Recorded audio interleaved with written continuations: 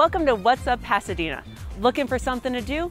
Pasadena has places and events galore to guarantee a fun-filled summer. Today is the Pasadena Playhouse's centennial celebration. We are having a block party along with the Playhouse District Association, and we thought the best way to celebrate 100 years of this amazing, important institution was to open our doors wide, invite the whole community to come and celebrate together on the streets of Pasadena.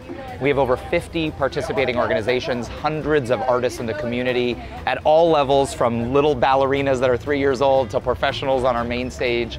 Um, we really wanted to be a community-wide celebration of culture, which is really what the Playhouse and the Playhouse District are all about. So we have um, two stages. We have a family stage with programming all day for families. We have a main stage in the back with bands, with drummers, with dancers, with anything you can imagine, theater, um, all from different groups in the community. We also have food trucks for everyone who's looking to have food. We have beer. You can walk around the street on El Molino and have a beer. It's fantastic. We also have activities from different cultural organizations and different organizations in Pasadena from um, Musique and Pasadena Pops Petting Zoo. We have museums all over Pasadena, LA Zoo. We have tons of activities going on all day long. Our mission here at the Playhouse is simple. We exist to enrich our community. And so we do that through theater, but what, uh, what better way than to gather the community, to open our doors wide and say, everyone come and celebrate together uh, the great culture and, and history of this historic institution. The Pasadena Playhouse is very unique in that it started back in, back in 1917, a group of community members gathered in a house just down the street from here and said, we believe this great community of Pasadena needs a great theater. And this was at a time where, where we're sitting now was all sort of orange groves and, and there weren't buildings around. Um, and they understood that every great community needs great cultural institutions, and we were one of the original great cultural institutions in the city.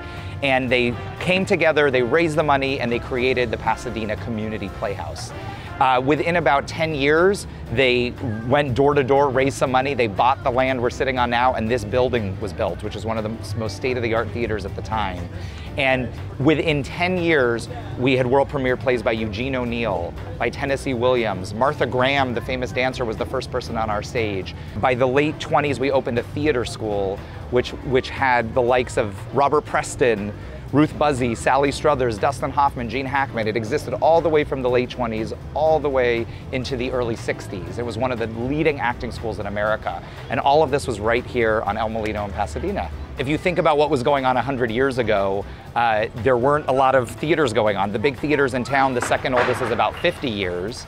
And so we really have been around for a whole lot of things going on in the world. If you think about audiences have been coming up these steps right here for a very long time, seeing classics, seeing new work, seeing plays, and that's amazingly unique. And also on top of it, it always had a community-centric mission um, which was different than some other theaters. In the very beginning of our time on stage, you saw professional actors next to community members. We look at the Playhouse both as being a, a very hyper-local community and a community institution, but also a national institution. Plays that have started at the Playhouse have gone on to Broadway over our history many times, yet at the same time, we, we have programs like Community at Play where we bring uh, kids and, and, different service organizations in our community to come see the plays and the work we do here. This year we took the entire seventh grade class of PUSD to see Pirates of Penzance, and we're going to continue to do that in the future.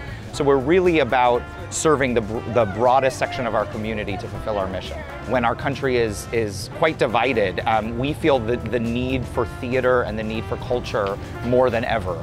The idea of theater, the idea that strangers in a community come together and sit in a dark theater together to experience together, to hear stories, to laugh together, to cry together, to put themselves in other shoes, to be challenged together, it's essential. It's, it's, it's sort, sort of base in all of us, and I think there's a human need for it, which is why theater and people gathering together to hear stories will never go away, in my opinion. Through Netflix, through HBO, through television, through movies, this place existed. This place existed before that.